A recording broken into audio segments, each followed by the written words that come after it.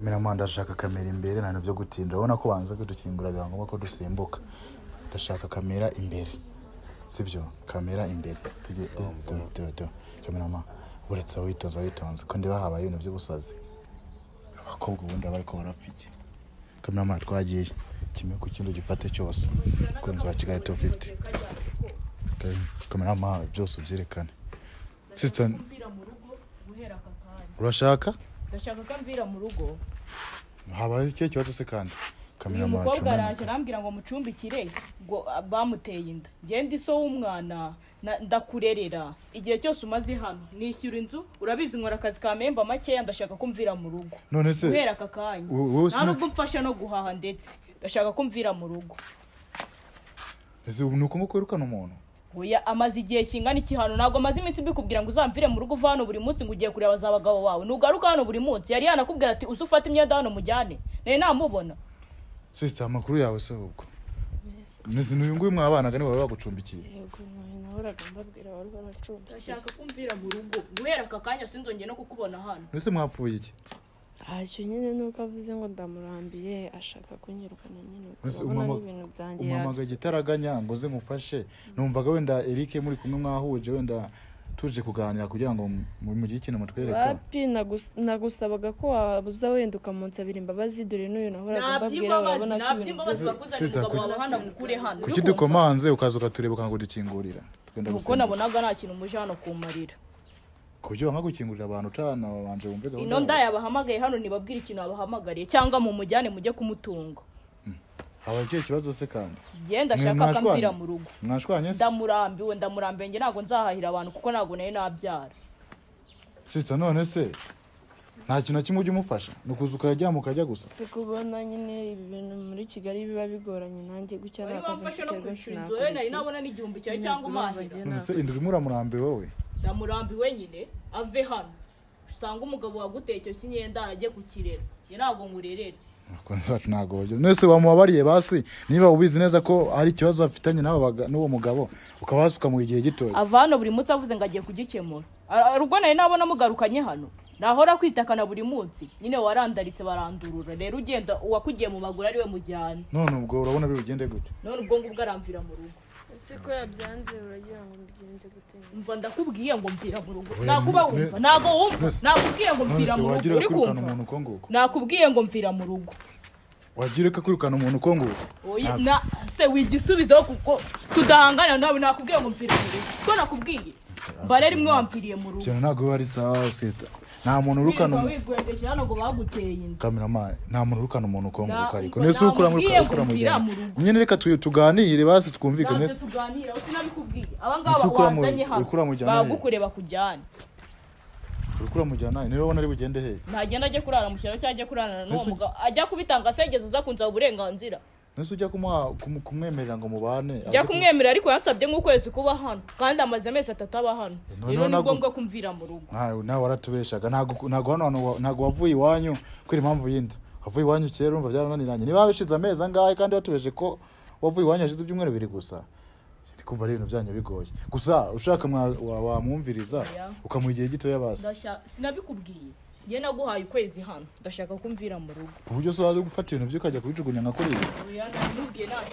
Ndetse wakinguka mu bikira bino bintu bigiye ukajya kubica mu ndetse ujye kurarana n'uwo mugabo waguteye inda. Sisita none se urabona ari bugende gute? Wowe waratubeshe ngo ngo iwanyu bakwirukanye kubera ikibazo ki- kiriya nda. Kandi urumva wananiwe. Hashize amezi atatu bana n'uyu nguyu twatubwiye ngo ni ibyumweru bibiri. Niba ibintu si ibishaka imbere y'umuryango wanjye. Nakubwiye ngo genda. Sisita kuki uri umwana mubi nk'uku nguku nta Mwana mwiza, ariko ntabwo wakirukana ntabwo wakirukana umu- wakirukana umuntu naba Ndashaka nguku umuntu ndetse ubu ngubu uri kubona gushaka agenda he ajye kurara mu kiraro. Ubu nta ni mbese mfashe imfubyi cyangwa imbabare. Ubu nta nubwo wanamuha n'indwi base akaba abaye umwangaha oya ahangaha harimo iki? Harimo imyenda ye. Hari n'imyenda ye? Mm. basi yimubikira ngende kumufasha gushakisha ahantu yajya kuba oya uri umwana imyenda mubi ye ese nawe yaba okay iri basi mwapfuye iki? Twapfuye iki umuntu azirirwa se yigwegeje hano ntiyoza ibyombo basi ntanakoropa basi nze nahe mvuye no mu kazi nsange wankoreye n'umurimo. Naba nkutunzemo hano ibiki? Narakubyaye. Canke mupfa abagabo? Wenda wasanga wamufatanye umugabo wawe. Oya. Mm. ko ngewe umugabo wanjye arihariye ntabwo uriya yamujyaho ese ubundi hano ubayeho gute wowe bayeho njye nditunze ariko nta wununze. Mbese mu gihe witunze kandi ukabona ko ubuzima kwitunga wari ubushoboye uriya ukaba uzi ko atabimenyereye kandi ari umukobwa mugenzi wawe. Wamufasha ukamwirukana uko kumuta mu muhanda akaba azi ariko wa- wafata wenda ugatekereza ukamubabarira. Ntabwo wajya kumwirukana mu muhanda ubaze inshuro zose namubwiye. Njye yaje hano ambwira ati nyene hano kubaho ukwezi. Rero iyo wavuze ukwezi aba ari ukwezi sinkeneye iyindi minsi irengaho nkeneye ko mvira mu rugo. Aka kanya. Ari nk'aho bino bintu bibayeho nawe bakakurukana uko nguko. Bakanyirukana ariko njye iyo wavuze ikintu uba ugomba kujya Oya. umva ndakwiyamye kuri benshi unabiterura ndakwiyamye. Oya ndashaka kumvira mu rugo. Oya. Ndashaka kumvira mu rugo mbone warenze hariya kiriya gipangu ndakwiyamye ndakwiyamye. Nyine uvuye ko nakwihanganiye kera.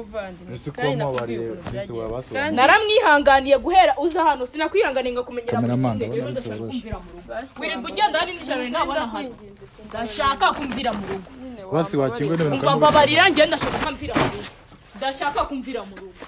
Basi wakwihanganye ko wihanganiye byinshi oya ndashaka kumvira ni mu rugo. wihanganiye byinshi wambabariye basi ukambabarira bwarimwe nabikubwiye. Ibintu uri gukora ntabwo byamaze. Igihe cyose nakwihanganiye hano. Hari n'ijana gihe wari wamba waranyihanganiye. rero sinshaka mu rugo ndabizi waranyihanganiye basi nakubwiye wa- mu rugo cyangwa uve hano iyo nda yawe nyikuyemo sinabikubwiye Ndashaka kumvira mu- iyo ni imyenda y'umuntu uri kurajugunya kuri iyo arayitora ajye kuyimesa mu gishanga. Basi basi muhigira ngo gito y'umuteguze. Ubwo ati ndagwaye iminsi iyi ngiyi uzobe ukambwira wapi?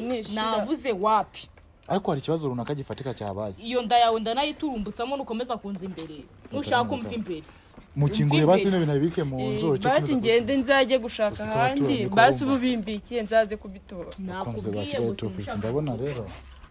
Basi wambabariye. None se Sinabikubwiye. harimo abandi ufite abashitsi se?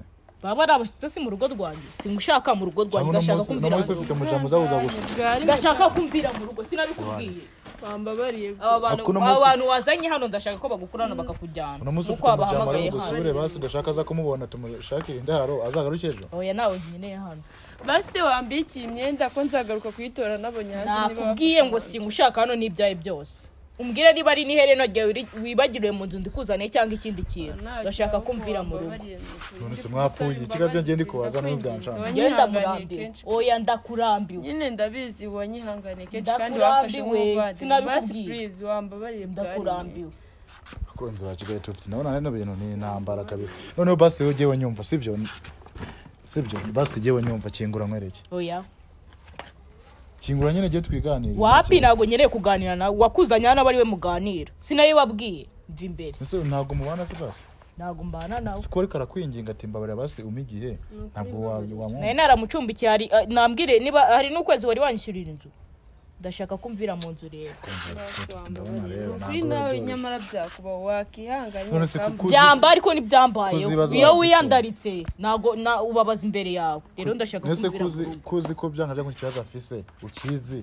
Kutumva ko wamutana mu bibazo utamuteranyije mu byishimo.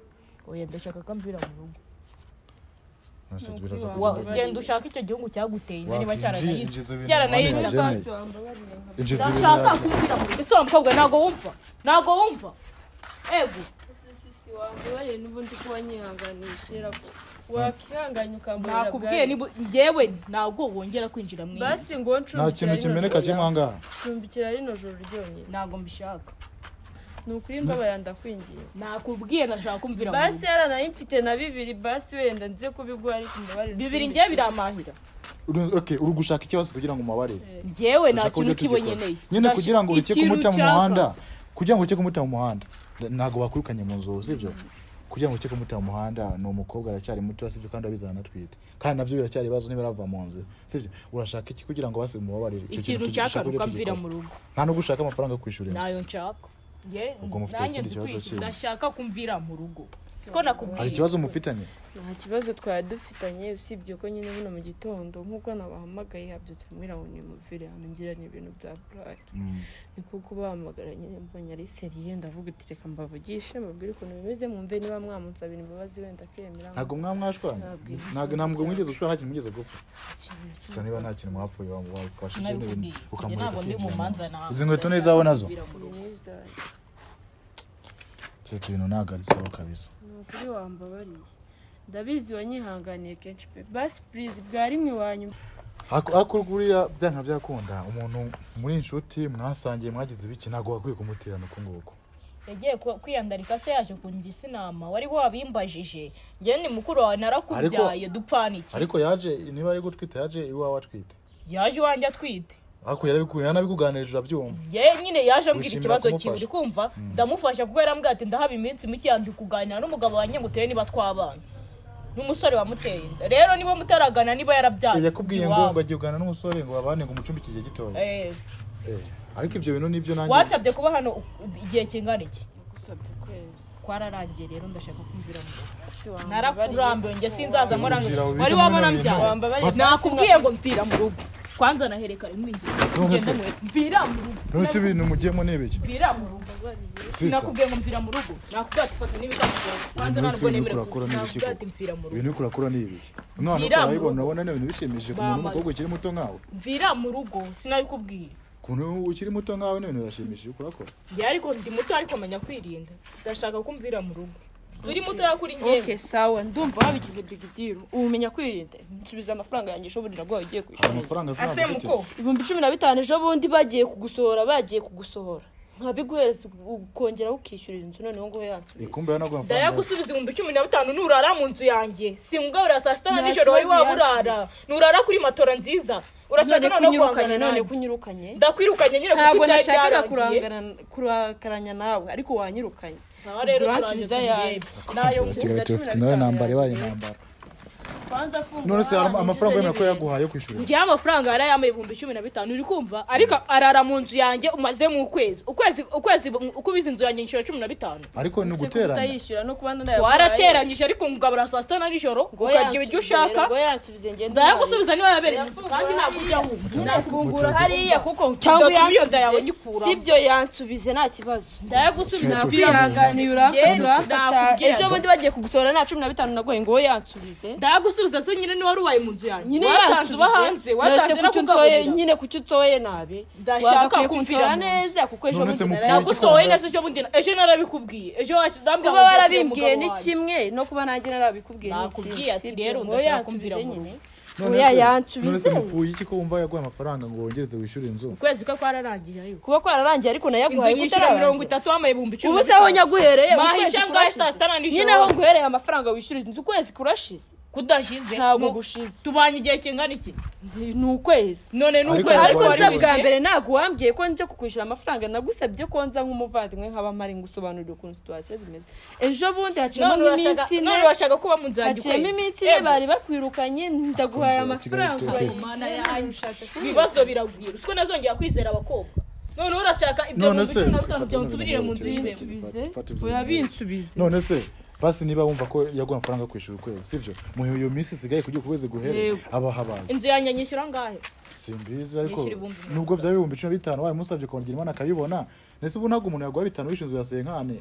Mukabana. Rero ntabwo nkeneye kubana n'uyu nguyu. Nabana n'abandi mureke- hato utazanambyarira mu nzu cyangwa ugakuramo iyo ndaye baka- bakaza konsa ngo atazakubyarira mu nzu.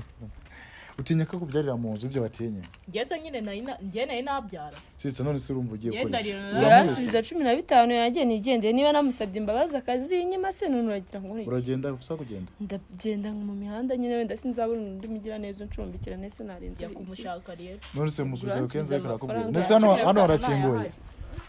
harakinguye hano? Nta nahafunze nta muntu winjira mu nzu yanjye.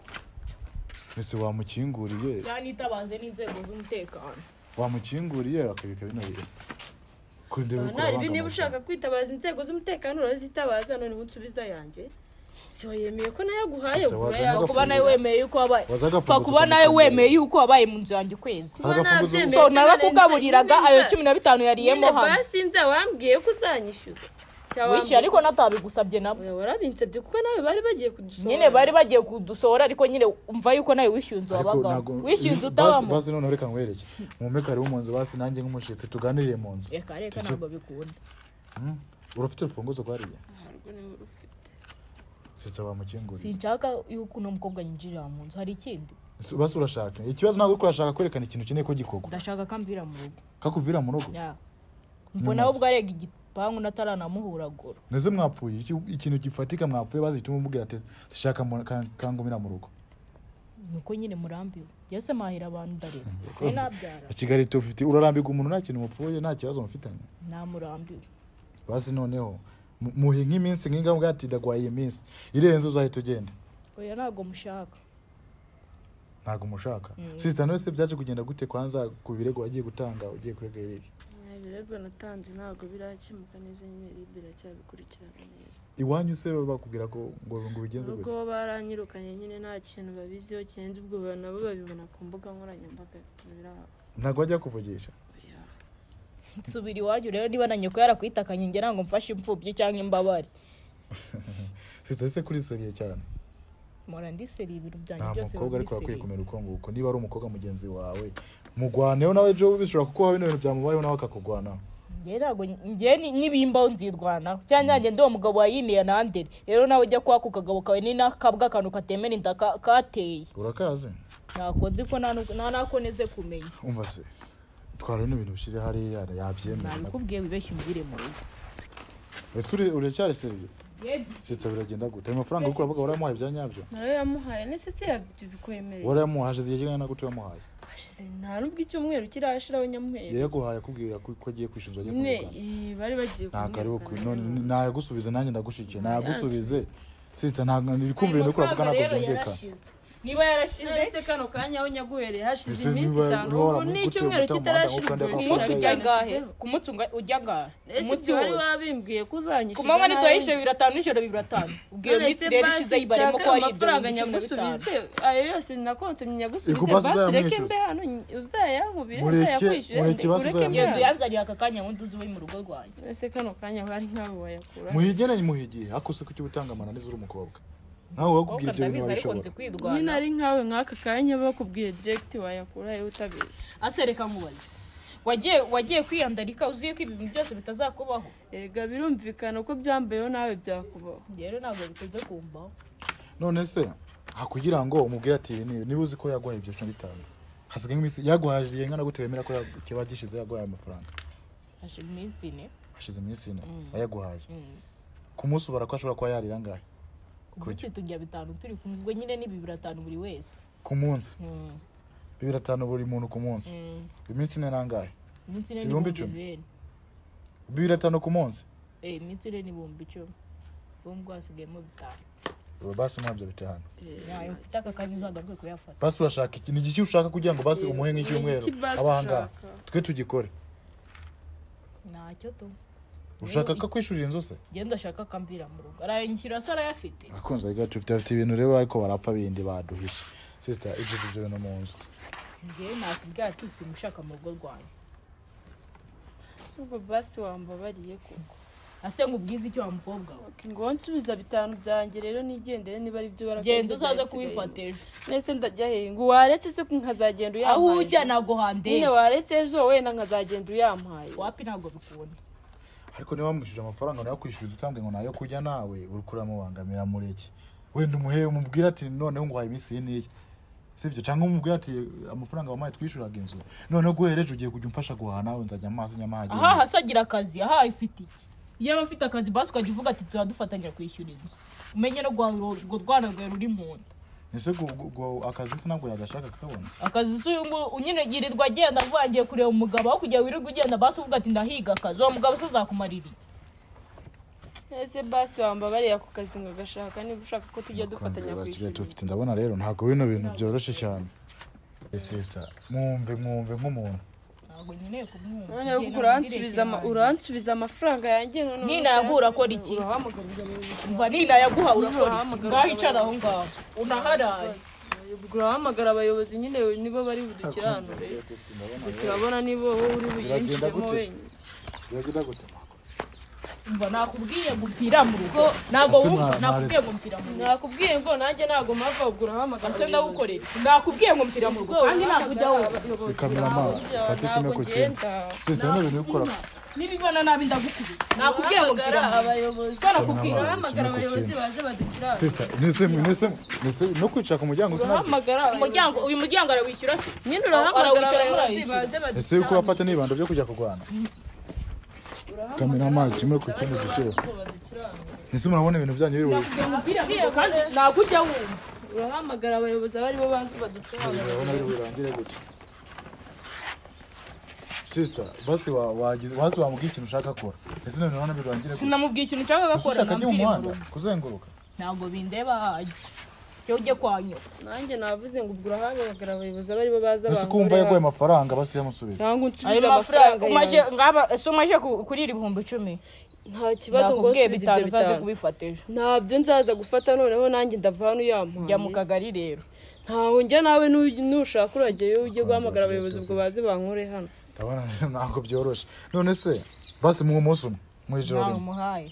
Ntise urashaka bene nawe umukobwa uri kuragorana kabisa. Njye ndashaka Utanga akambwira mu rugo. Hari ikindi urahamagara abayobozi baze bankure hano turanabahamagara ariko. Nta kibazo ubwo ko urajya nyine ntabwo mfashe imfubyi cyangwa imbabare guhamagara abayobozi basi baze bankure nawe. hano cyangwa umpe amafaranga yanjye ugende umvikana nanjye basi sibyo basi nyumva jyewe nyumvira umuho umunsi umwe.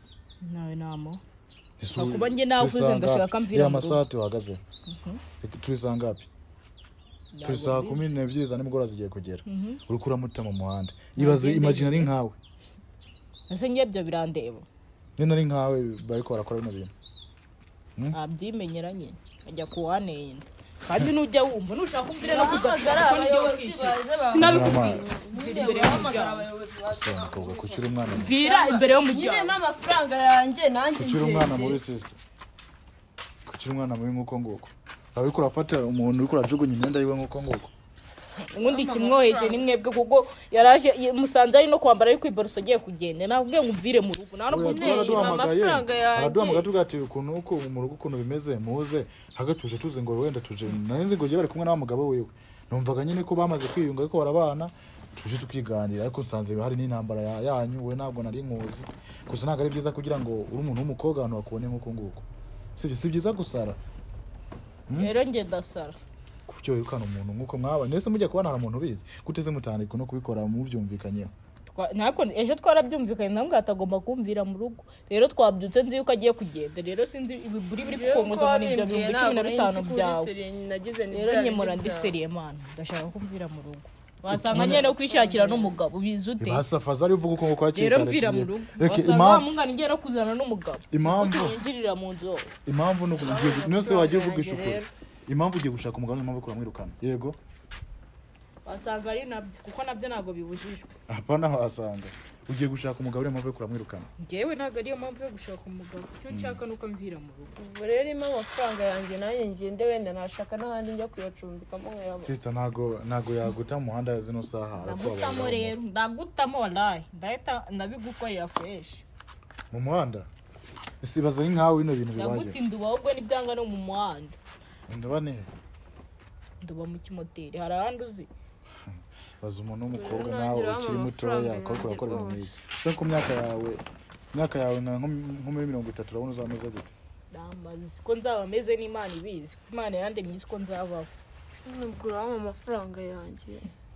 Se wamukinguriye akicara akajya mu amafaranga yawe. Uzi ko uno umukobwa anatwite? Uriko urafata uko nguko ntirushake ruvime ndise ko se w'umwana yamwitakanye wa mungana irambwa.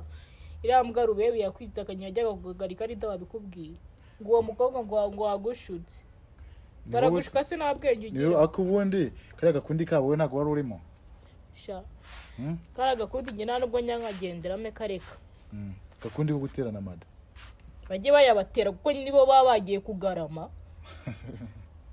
None se ko uram- uriko uravuga ngo ugiye gushaka umugabo niyo mpamvu ugiye kumwirukana ntashaka namushaka ariko urugo ni urwanjye none se ujya kumubwira ngo ngwino tubane ntabwo runo rugo rwari urwawe?